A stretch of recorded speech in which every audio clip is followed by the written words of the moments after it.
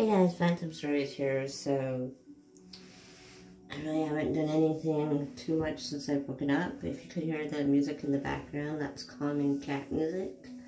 Because I realized that I haven't done the cat snails in a while, and Hope's nails are a little long, so sometimes for the nail, when they grow and they overlap like that, it sometimes goes into the skin.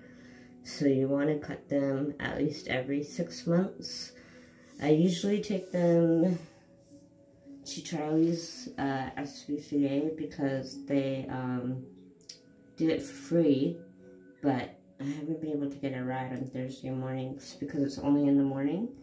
So I'm going to try to do it myself. So here's hope. And we'll see if she lets me do it. I only do the front because I can't do the back. Um, it's kind of hard doing the back. I mean, I could kind of hold, I guess I could try to hold her backwards, but I don't know if I'll film that part because I've never done that on my own. They also have these things that you could buy that kind of like hang down and you lift up your cat and you put it in it so then they can't move. But the problem with that is that my cats are fat. But Josephine, she isn't fat, but Hope is 20 pounds and Speckles is 20 pounds. So they're pretty heavy to pick up. Um, Speckles is more heavy to pick up and he's very aggressive. So I'm starting to pick him up a little more. It's just a lot harder. And then I always um, give them treats afterwards so that helps. But trying to get her to be calm, and I thought I'd record it in case uh, people don't know how to do it. So I'm not going to put it so you can actually see it because I don't want to use my tripod and everything. It might uh, freak her out.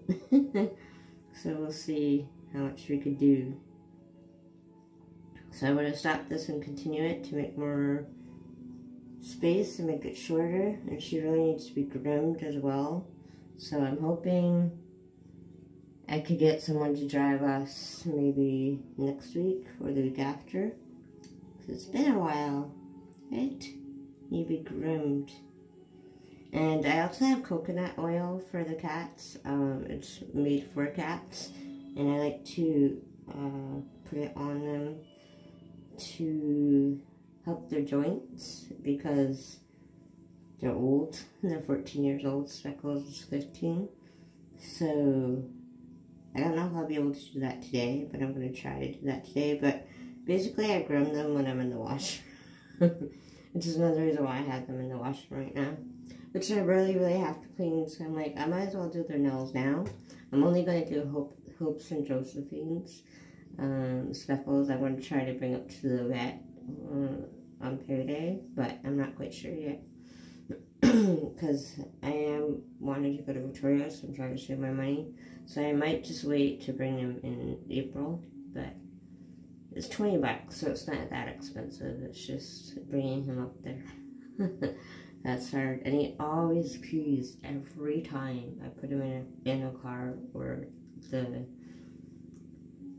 crate. He actually goes in by himself. And another thing I'm going to start doing is uh, putting them in the cat crate.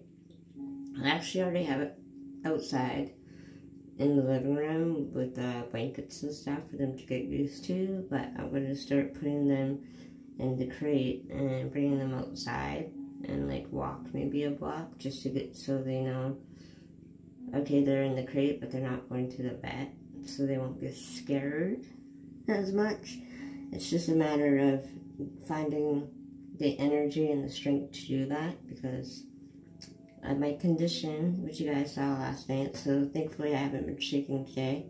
I have been outside because it's cold. Even though it's like sunny, it's freaking cold because it was hailing last night. So, yeah. But I'm going to stop this video and I'm going to start doing Hope's Nails. So, stay posted.